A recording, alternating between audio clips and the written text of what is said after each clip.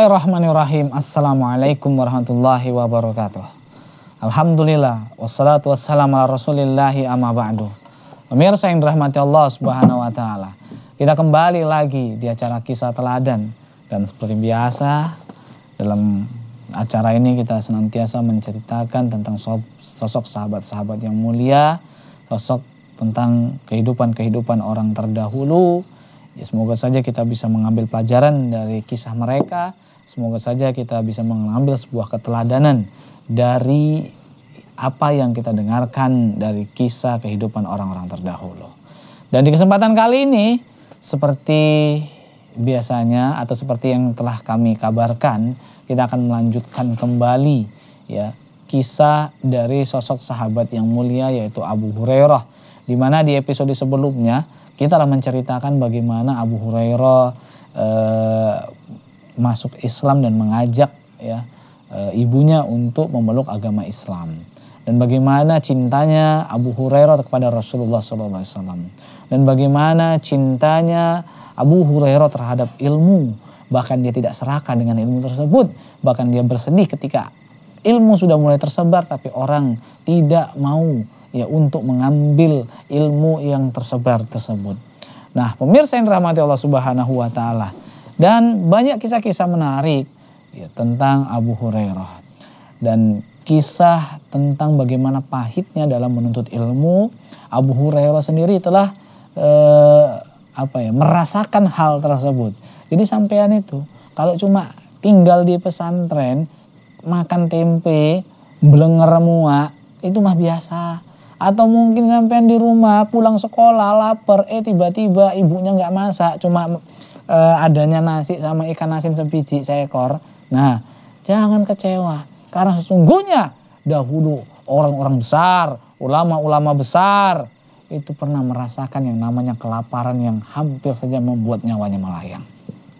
Nah ada kisah yang menarik berkaitan dengan Abu Hurairah. Jadi Abu Hurairah itu kan dia mengatakan aku dilahirkan itu bukan dari orang kaya. Aku anak yatim kata Abu Hurairah ya. Kemudian eh, dia bukan orang kaya.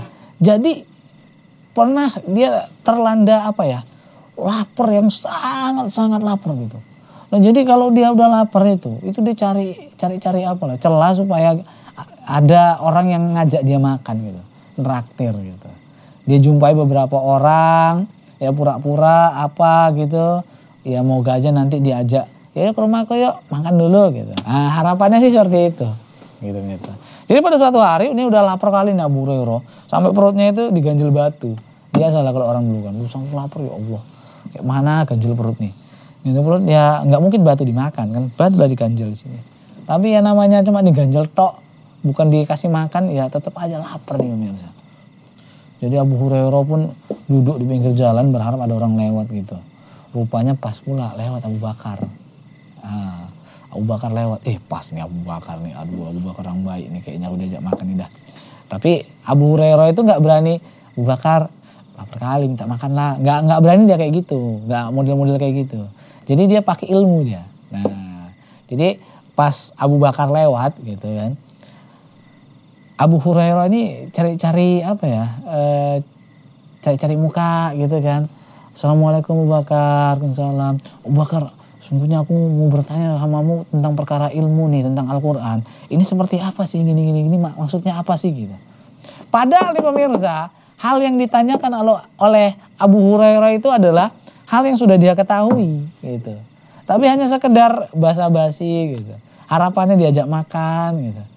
Tapi ternyata pemirsa, terkadang usaha kita tuh nggak sesuai harapan. Jadi udah eh, nanya sama Abu Bakar, Abu Bakar yang jawab apa yang ditanya oleh Abu Hurairah. Setelah itu udah pergi. Aduh, misi gagal Abu Hurairah bilang kan dalam hatinya mungkin. Tapi kemudian tak lama kemudian datang Umar bin Khattab. Wah Umar bin Khattab kayaknya ini banyak makanan nih. Dia orang baik juga nih. Wah, datang dia karena mau Umar bin Khattab. Ucapkan salam. Kemudian dia bertanya. Wahai Umar, aku ada uh, ingin bertanya kepadamu, ada sedikit urusan, aku ingin bertanya, apa sih maksud dari firman Allah ini yang ini ini ini? Ya, kan gitu. Kemudian Umar bin Khattab pun menjelaskan, oh itu tentang ini ini ini ini ini, ini. dijelaskan oleh Umar bin Khattab. Padahal Abu Hurairah itu sebenarnya sudah tahu jawabannya. Tapi hanya sekedar basa-basi gitu. Kemudian ya ternyata Umar pun begitu juga nih pemirsa. Umar pun pergi gitu. Allah. Dan pemirsa yang dirahmati Allah Subhanahu wa taala, kelaparannya itu masih ada gitu. Belum terobati hingga akhirnya datang Rasulullah. Aduh, semoga saja Rasulullah nih paham dah. Udah lapar kan datang Rasulullah pas ya Rasulullah. Ya, Rasulullah udah tahu nih Abu Hurairah nih. Kemudian apa yang dilakukan oleh Rasulullah? Rasulullah pun langsung, ada yuk kita ke rumahku, kata Rasulullah. Rasulullah langsung ngajak ke rumahnya. Nah tiba di rumah, pemirsa yang rahmati Allah Subhanahu Wa Taala, ternyata di rumahnya itu ada sebuah bejana yang telah berisi susu. Nah jadi ditanya lah oleh Rasulullah terhadap keluarganya. Ini bejana ini susu dari mana ini? Kata Rasulullah. Oh itu dari Fulan bin Fulan itu untukmu Rasulullah. Kata uh, keluarganya atau istrinya gitu. Kemudian uh, Rasulullah pun bersabda kepada Abu Hurairah. Abu Hurairah, pulanglah kamu ke masjid dan ajak orang-orang ahlu sufa, orang yang tinggal di masjid untuk datang ke rumahku untuk minum susu ini. Abu Hurairah dalam hatinya, ya Allah Rasulullah teganya dah. Kan aku duluan Rasulullah, kenapa enggak aku dulu dikasih makan belum kenyang baru kupanggil orang gitu. Nanti ku panggil orang rame, eh nggak kebagian aku pulaknya. Mungkin dalam hati Rasul, eh, Abu Hurairah gitu ada rasa kekhawatiran. Tapi karena itu perintah Rasulullah, akhirnya dia pun balik ke masjid dan memanggil, eh halo Sofa, yuk antum nih diundang nih di rumah Rasulullah. Yuk, yuk, yuk, yuk. ada makanan kayaknya, ada minuman, uh, minum susu di tempat Rasulullah. Wow, seneng kali orang Al Sufa. Pas kali lah udah kelaparan gitu. Kemudian datang mereka ke uh, rumah Rasulullah. Eh, Kemudian dipanggil Abu Hurairah, Abu Hurairah sini dulu. Cak kamu bagi-bagikan dulu susu ini sama orang itu. Ya Allah Rasulullah inilah orang itu duluan lah gitu kan. Dikasih satu-satu, diciduk susunya, diciduk, ciduk, ciduk gitu kan. Sampai mereka semua kenyang gitu. Kemudian apa kata Rasulullah sama Abu Hurairah? Abu Hurairah, tinggal kita berdua yang belum nih, belum ada minum susu. Minumlah kamu. Diambil sama Abu Hurairah. Akhirnya, glek glek glek glek. Uh, mau nikmatnya Allah. Kemudian ambillah sekali lagi ya Bu Reno. Oh pas kali udah lapar kali aku. Glek glek glek glek glek. Suruh disuruh lagi. Ah, silakan ambil lagi Abu Hurairah. Diambil lagi sampai kenyang. Apa kata Abu Hurairah? Oh, Rasulullah, udah nggak ada tempat lagi di perutku nih Rasulullah. Udah kenyang kali Rasulullah. Nah, pemirsa yang rahmati Allah Subhanahu Wa Taala. Ya, hal yang sangat luar biasa ya. Eh, perjuangan Abu Hurairah dalam menuntut ilmu dia siap untuk hidup susah, hidup kelaparan, tapi semua itu nanti akan berjalan mulus ya. Semuanya itu nanti Allah ganti dengan hal yang sangat luar biasa. Hari itu Abu Hurairah miskin, tidak punya istri, tidak punya anak, tidak ada keluarga, makan pun sering kelaparan, tapi kelak dia akan menjadi orang yang sangat luar biasa. Ya, tidak hanya dalam bidang ilmu, bahkan dia juga diangkat sebagai seorang gubernur dan insya Allah nanti kita ceritakan ya setelah beberapa jeda yang melewat berikut ini. Pemirsa,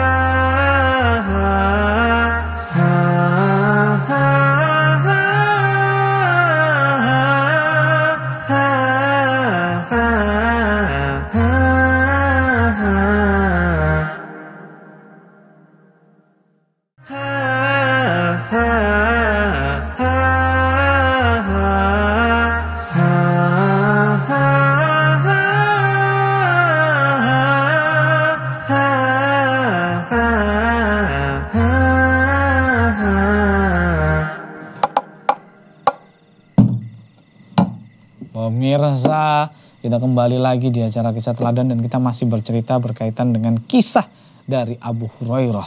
Nah pemirsa, eh, banyak kisah-kisah tentang Abu Hurairah dan Abu Hurairah tadi udah dibilang, uh orang susah, orang miskin, kelaparan, ya. Tapi semua itu akhirnya ya pemirsa, uh, apa ya bisa dilalui, ya. hingga akhir pemirsa Uh, jadi kaum muslimin itu sudah mulai ekonominya sudah mulai berkembang gitu dan akhirnya Abu Hurairah yang tadinya jomblo punya istri, punya anak, punya rumah dan punya semuanya gitu. Bahkan dia pun menjadi seorang gubernur. Gubernur pemirsa. Wow. Dari bayangin gembel ya mohon maafnya seperti itulah ya tinggalnya di masjid, kelaparan sering, tiba-tiba sekarang bisa jadi gubernur. Gimana pula itu, masya Allah. Nah, e, pemirsa yang rahmati Allah, apa kata Abu Hurairah? Dulu aku adalah seorang anak yatim. Gitu. Kemudian aku hijrah ke Madinah dan menjadi orang yang miskin. Kemudian aku adalah kuli dari orang uh, Busroh binti Goz, uh, binti Gozwan, ya. Uh, kulinya Busroh binti Gozwan. Wah, tukang ngepok-ngepok barang gitu deh. Dan upahnya itu cuma apa? Cuma yang penting aku dikasih makan sampai kenyang, itu aja upahnya. Masya Allah. Kemudian dia juga melayani orang-orang jika ada orang singgah gitu kan. Entah orang mana, uh pura-pura dah dateng wah oleh oleh kita bantu nih lumayan dikasih tips gitu kan dan juga kalau ada orang-orang yang mau berangkat gitu kan itu ya di apain nama dia gitu disiap-siapin gitu pokoknya gitulah dia kalau kerjaan kita bahasa Indonesia ini sekarang apa ya? mocok-mocok lah kerjanya lah. Serabutan gitu. Cari sana cari sini gitu. Yang penting bisa terisi perut belajar tetap lancar. Nah, nah Akhirnya nih pemirsa yang dirahmati Allah Subhanahu wa taala, akhirnya pun ya karena memang dia orang baik, orang bagus, dia dinikahin eh dinikahin, dinikahkan kepada anak dari e, Busro binti Ghazwan tadi. Wah, akhirnya di situlah mulai perekonomiannya. Nah, ini salah satu tips nih pemirsa. Kalau Anda mau kaya secara e, cepat, nah maka nikahilah e, anak orang kaya. Otomatis Anda akan menjadi kaya secara cepat. Nah, jangan ditiru terkhusus buat kameramen. Oke. Kemudian pemirsa, dan tak lama juga dia menjadi uh, seorang gubernur yang sangat luar biasa pemirsa. Abu Hurairah jadi gubernur. Kok bisa? Ini bukan karena doanya bapaknya Sidul, enggak juga. Tapi pemirsa, memang dia adalah orang yang pantas untuk menjadi seorang gubernur di Madinah. Madinah pemirsa. Gubernur Madinah. Luar biasa enggak itu? Nah, itu di zamannya Muawiyah bin Abi Sofyan itu, pemirsa, uh, sosok Abu Hurairah itu diangkat menjadi seorang gubernur untuk di kota Madinah. Masya Allah, kotanya Nabi. Ya, di zaman Muawiyah bin Abi Sofyan. Nah, pemirsa yang dirahmati Allah Subhanahu wa taala, ya.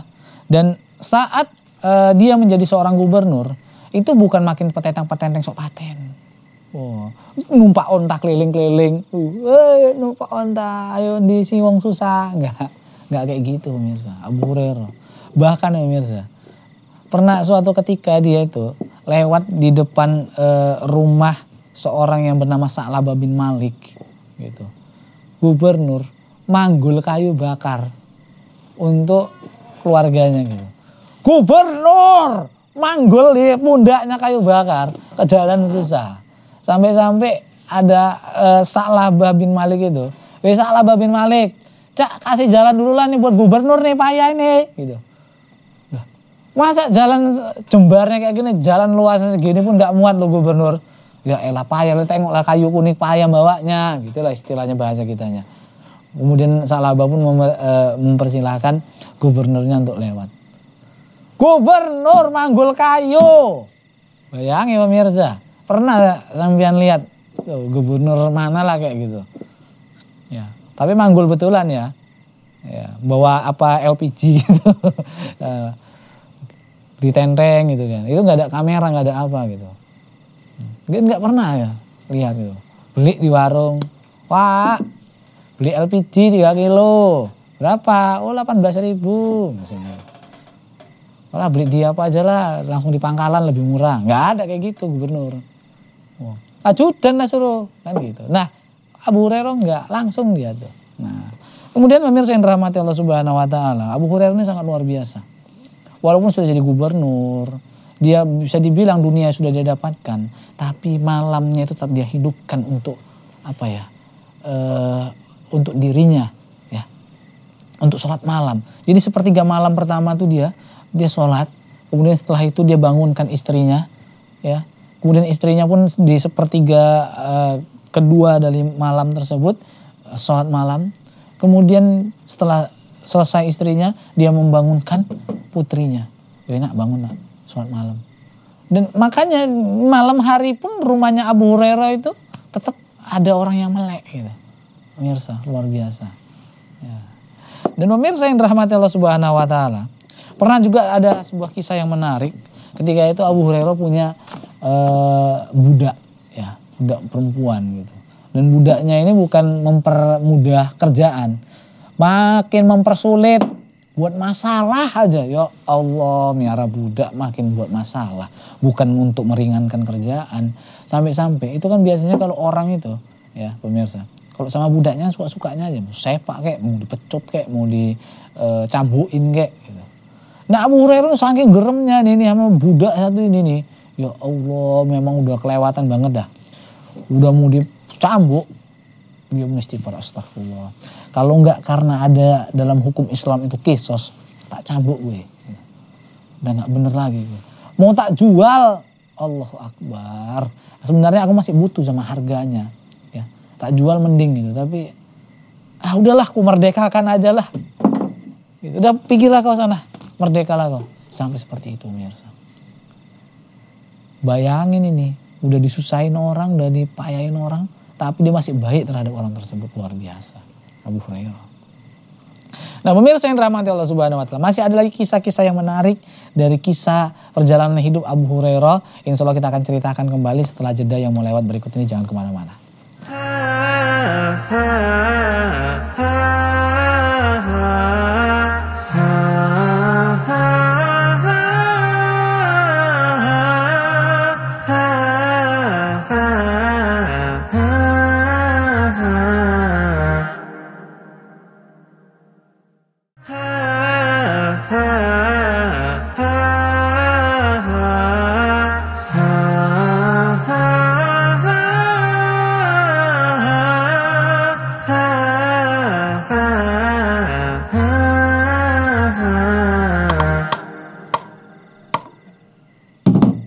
Pemirsa kita kembali lagi di acara kisah teladan dan kita masih bercerita tentang kisah sahabat yang mulia Abu Hurairah.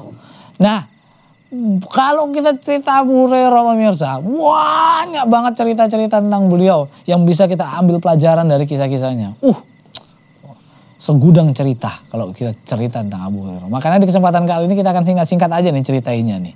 Nah tadi udah beberapa cerita udah kita ceritakan di segmen-segmen sebelumnya. Nah kita lanjut lagi nih pemirsa. Jadi uh, Abu Hurairah ini kan gubernur. Nah, ya dulu mungkin dia orang susah, tapi sekarang kan udah jadi gubernur, ya masa masih melarat kan gitu kan? Enggak nih pemirsa. Ya. Dan luar biasanya nih pemirsa yang dirahmati Allah Subhanahu Wa Taala. Dia kan punya anak cewek nih, putri gitu. Ya biasa lah, anak gubernur gitu.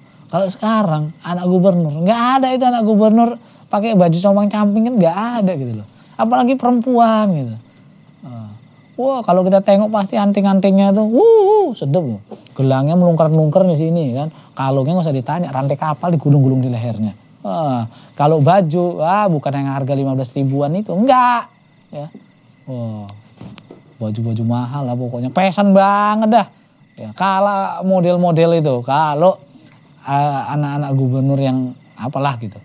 Nah beda dengan anak gubernur uh, Abu Hurairah, gubernur Madinah ketika itu jadi dia datang sama bapaknya, Pak, gitu. Aku diledekin nih sama teman-temanku. Beliin aku anting apa, Pak? Anting-anting. Kalau perempuan itu kan apa ya? Biasa loh. Kalau an, uh, apa namanya? Kupingnya ditindih, lah anting-anting yang tipis-tipis pun jadi dah, gitu kan. Ini anaknya gubernur, Gak ada anting-antingnya, pingin dia punya anting-anting. Karena diledek temennya, weh anak gubernur, kok nggak ada perhiasannya, weh, yuk, bilang, Pak beliin apa Pak? Ini anting-anting untukku, kata eh, anaknya. Kemudian apa? kata bapaknya? Enggak, bilang aja nanti sama temenmu, sesungguhnya ayahku takut dengan api neraka. Masya Allah, pemirsa yang dirahmati Allah takut dia ya, terhadap api neraka, terhadap gara-gara anaknya. Gitu. Jadi kok sempet anaknya pamer-pamer, anting baru, anting baru, apa nggak bapaknya yang kena? Ya. Gara-gara anaknya, Masya Allah. Sampai segitunya Abu Hurairah takut dengan akhiratnya. Oh, kalau kita nengok anak kita, oh bergaya sedikit apa lo nak? Ya. Dan dan gue sana ke salon gue kok tengok nyengkuk sekali kayak nggak mandi tiga hari gitu. Eh, dan dan aku sing cantik lah sing ayu. Kayak gini gue ya mana ada laki-laki yang mau sama kue nih ya Allah kan gitu. Apalagi kalau anak kita nggak ada yang macarin. Allah anakku nggak laku loh yo. Mirsa yang rahmat Allah Subhanahu Wa Taala. Abu Hurairah takut ketika nanti anaknya nggak bener ya dan lain sebagainya. Nah. Jadi Abu Hurairah itu nggak mau belikan anaknya itu anting-anting perhiasan dan lain sebagainya itu bukan karena dia pelit enggak karena dia takut akan gara-gara hal tersebut akhiratnya terancam. Mana buktinya kalau Abu Hurairah itu nggak pelit? Ada kisahnya pemirsa. Ya, jadi eh, Marwan bin Al Hakam itu itu mengirimkan kurang lebih 100 dinar emas kepada Abu Hurairah. Wah. Dan keesokan harinya ya eh, Marwan bin Al Hakam itu mengutus seorang laki-laki ya kepada Abu Hurairah dan mengatakan bahwasanya, "Wih, Pak, mohon maaf lah ya, Pak. Pak Marwan salah kirim. Sebenarnya harta tersebut 100 dinar emas itu itu bukan untukmu. Aku salah kirim." Kemudian apa kata Abu Hurairah? Lah, udah habis. Padahal baru kemarin. Habisnya untuk apa? Disedekahin pemirsa. Bukan habis untuk poya-poya, enggak. Jalan-jalan dia ke pasar, enggak beli budak baru, beli ini, beli onta baru. Enggak. Sedekahkan gitu. Dan padahal itu Marwan itu bukan salah kirim, enggak. Sengaja dia. Karena untuk apa? Ngetes. Ini orang ini kalau dikasih harta banyak cemana gitu. Kalau dikasih harta banyak seribu dinar apakah dia poya-poya untuk beli onta baru ya. TP-TP keliling-keliling kampung dia. Enggak. Ternyata enggak pemirsa. Luar biasa disedekahin semuanya. Luar biasa nggak itu? Nah, dan luar biasanya lagi Abu Hurairah ini adalah selain dia memiliki ilmu yang luar biasa, kedudukan di masyarakat yang sangat eh, nggak uh, usah kita tanya lagi, dia masih berbakti kepada orang tuanya. Terbukti ketika dia mau pergi itu selalu mengetok pintu kamar ibunya. Assalamualaikum ibu, Waalaikumsalam anakku. Gitu. Dan kalau pulang begitu juga. Assalamualaikum ibu, selalu dia menyapa ibunya. Masya Allah itulah bentuk uh, apa namanya luar biasanya dan dia pun mengucapkan terima kasih wahai ibu karena sesungguhnya kau telah melahirkanku dan kau telah mendidikku kemudian apa kata ibunya ya Allah terima kasih wahai Abu Hurairah sesungguhnya kau adalah anakku yang paling berbakti kepada orang tuamu sampai sebegitunya pemirsa. Ya salah satu buktinya. Dan pemirsa yang dirahmati Allah Subhanahu banyak lagi kisahnya ya. Ketika ada seorang laki-laki ya berdua jalan gitu kemudian yang satunya agak tua yang satunya masih agak muda kemudian dipanggil eh oh ya anak muda ke sini siapa ini? Oh apa kata anak itu? Oh ini bapakku kata pemuda tersebut. Anak eh anak muda aku berpesan kepadamu ya. Jangan kau memanggil nih bapakmu ini dengan panggilan sebutan namanya misalnya nama bapaknya Pak Ijo ada anak wala Jojo itu anak kurang ajar. Nah, dan itulah salah satu uh, nasihat dari Abu Hurairah terhadap pemuda tersebut. Kemudian janganlah kau berjalan di depannya. Suruh duluan bapaknya. Di belakang kau, nggak sopan kau jalan duluan depan bapakmu. Kemudian kalau kau duduk, kata Abu Hurairah, jangan biarkan ya kau duluan yang duduk. Tapi biarkan ayahmu dulu duduk, baru kau duduk. Masya Allah, seperti itu. Nah pemirsa yang dirahmati Allah Subhanahu Wa Taala, terakhir manakala Abu Hurairah sedang sakit keras, yang sakit tersebut menghantarkannya pada kematian, maka di situ Abu Hurairah menangis jadi-jadinya pemirsa. Menangis bukan karena takut mati. Ya, makanya orang-orang bertanya, masa sekelas Abu Hurairah mau mati takut? Gitu kan? Ditanya, eh Abu Hurairah, kenapa kamu menangis? Kemudian apa kata Abu Hurairah? Aku menangis karena aku memiliki uh, diberikan kesempatan dengan usia yang panjang namun bekalku sedikit. Abu Hurairah mengatakan bekal sedikit. Konon lagi antum, konon lagi kita. Apakah yakin bekal kita ini udah cukup untuk menuju ke akhirat? Abu Hurairah menangis ketakutan karena dia merasa dalam kehidupannya masih banyak kehidupan yang masih sia-sia. Karena merasa dia bekal sedikit. Allah Akbar. Makanya ketika itu ada seorang uh, Marwan bin Al-Hakam mengunjungi Abu Hurairah mengatakan, semoga Allah menyembuhkanmu kata Marwan kemudian apa kata Abu Hurairah enggak sesungguhnya aku sudah rindu untuk berjumpa dengan Allah Subhanahu wa taala sesungguhnya aku mencintai perjumpaan denganmu wahai Allah kata Abu Hurairah maka ketika uh, Marwan bin ha Al-Hakam itu uh, ingin beranjak pulang baru noleh berjalan berapa langkah tiba-tiba Abu Hurairah sudah meninggal dunia. Pemirsa yang dirahmati Allah Subhanahu wa taala. Itulah kisah dari seorang Abu Hurairah dan masih banyak sebenarnya kisah-kisah yang lainnya yang lebih spektakuler lagi dan tidak kita ceritakan di kesempatan kali ini dan sampai di sini dulu perjumpaan kita. Semoga bermanfaat. Semoga kita mendapatkan sebuah keteladanan dari kisah Abu Hurairah. Subhanakallahumma bihamdika asyhadu alla ilaha illa anta astaghfiruka wa atubu ilaik. Wassalamualaikum warahmatullahi wabarakatuh.